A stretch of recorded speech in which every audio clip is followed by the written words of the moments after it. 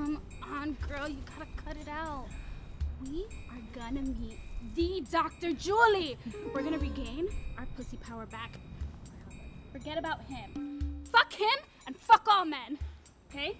I know, I know, I do. I do. And I just thought maybe I was being too hard on him, but you're right. This is about you and me and this week and our lady bits. Welcome. Thank you for coming to this week long retreat. By the end of this retreat, your vaginas won't just be stars, oh no.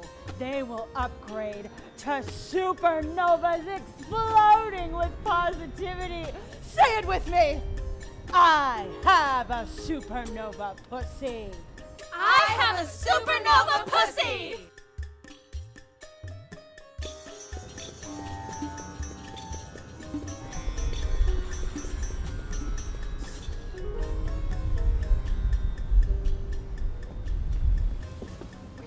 Here? I get kicked out. This is important to me. I know, but look, I, I just can't be without you. I'm, I was wrong. I'm sorry.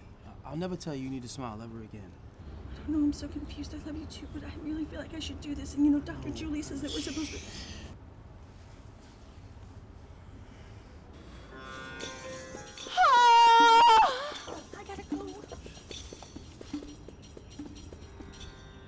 Do not think that you are not good enough to want what you desire and desire what you want.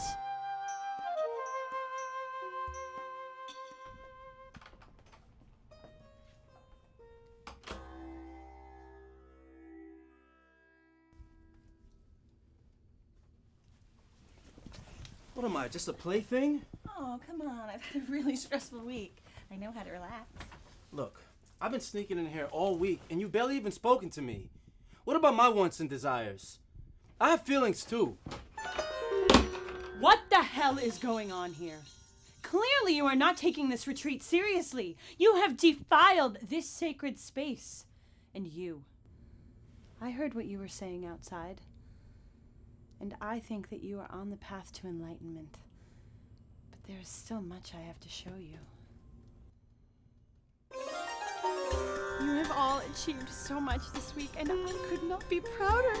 Let's all breathe in through our feminine centers together and say it with me. I have a supernova pussy. I have a supernova pussy.